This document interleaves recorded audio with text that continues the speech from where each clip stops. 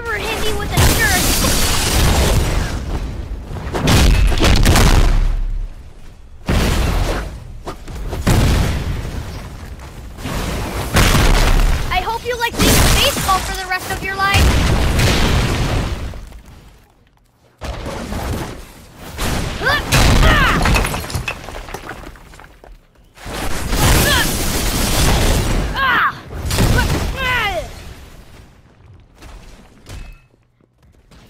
Stay there for a sec. I just have something to tell you.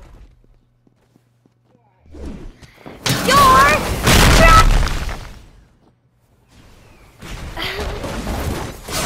oh, shoot. Um, I guess he's not trash anymore.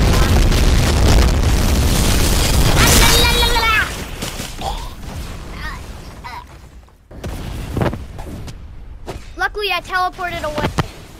He didn't know I had two lives.